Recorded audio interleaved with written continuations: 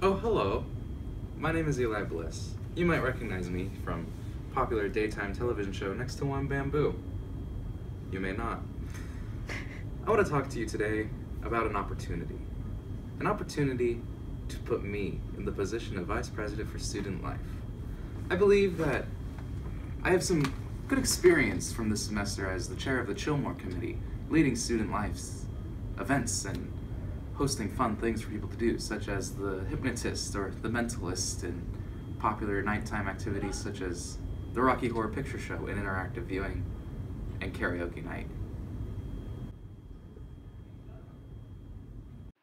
I believe this experience in running a committee will prove useful in getting the Committee on Student Life to achieve their numerous goals, such as making Skidmore a more sustainable and green campus and fostering a stronger sense of community.